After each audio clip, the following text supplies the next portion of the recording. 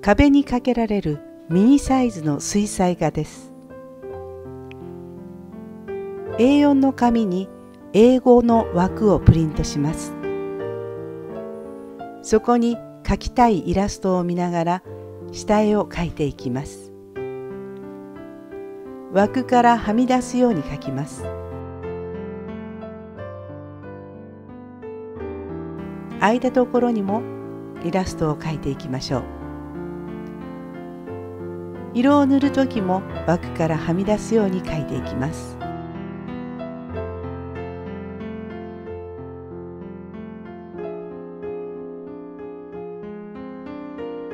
下絵は特徴的なところから描き始めて外へ外へと描き進めていきます。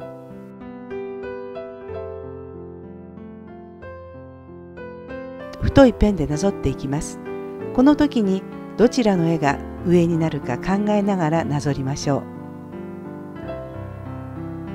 全体に濃淡をつけながら薄く色付けします。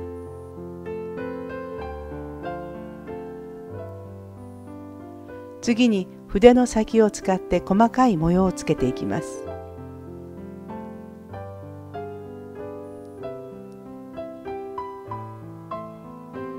白や白を混ぜた色を使ってさらに模様を重ねていきます。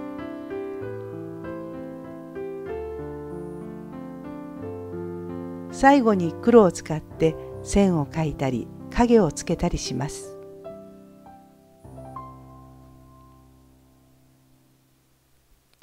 絵が出来上がったら額縁をつけましょう。絵の周りが同じ幅になるように両端を切り取ります。だいたい3センチ2、3ミリになります。絵の幅に切った画用紙を両側に貼り付けたら長い方の画用紙は端を45度切り落とします。台形になった紙をこんな風に額縁に見えるように貼り付けます。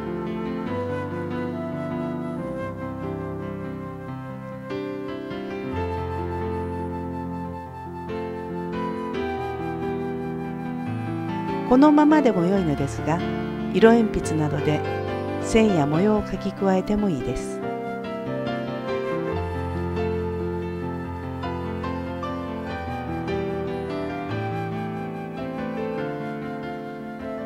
段ボールを少し小さめに切ります。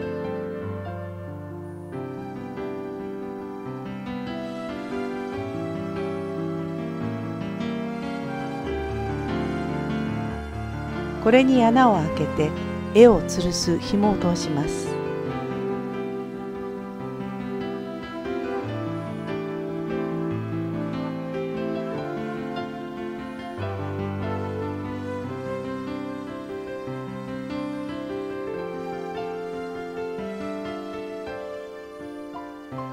これを絵の裏に貼って出来上がりです。飾りたいところに吊るしてください。